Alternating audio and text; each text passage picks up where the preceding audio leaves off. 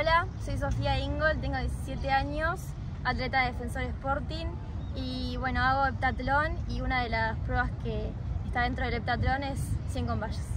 Para aquellos que gustan esta disciplina o están comenzando a practicarla, hoy les voy a dejar algunos tips. En cuanto a la indumentaria, eh, lo principal es tener un top deportivo o una musculosa o remera bien cómoda, un short eh, calza o bombacha también que nos permita la movilidad y bueno, para los pies unos clavos, unos zapatos de clavos bien cómodos que normalmente tienen 8 clavos.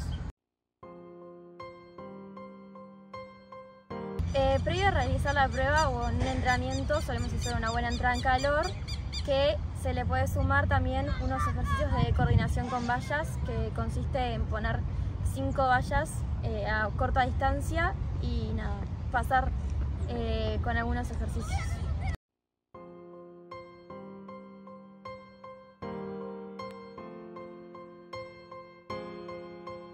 En la disciplina femenina de 100 metros con vallas hay una partida de taco que luego una primera valla que se encuentra a los 13 metros. Eh, en realidad son 10 vallas que tenés que pasar y luego de la última eh, hay una pequeña corrida hasta la línea final. En cuanto a la salida de taco, es muy importante estar concentrados y enfocados porque es una prueba muy técnica. Eh, también es muy importante estar cómodos para lograr una buena partida y también eh, estar muy atentos al disparo para tener una buena reacción en el comienzo de la carrera.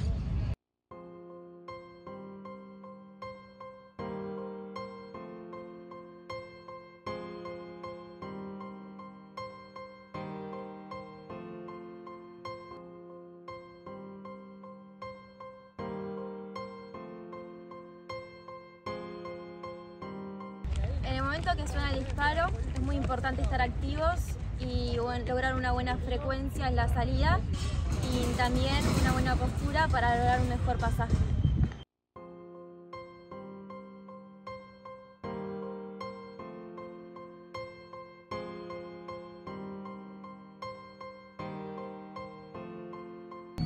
En, cuanto al pasaje de vallas, en mi caso es con la pierna izquierda, que eso en realidad depende de cada persona, y con la derecha yo realizo el recobro, que es muy importante tener el pie en pretensión y tratar de hacerlo rápido.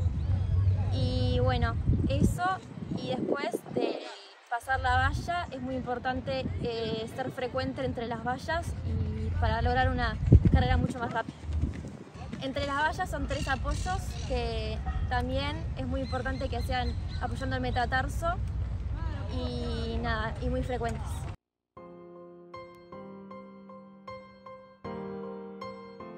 También es muy importante que intentar pasar eh, las vallas lo más rasante posibles, pero sin tocarlas, ya que eso te perjudicaría la carrera.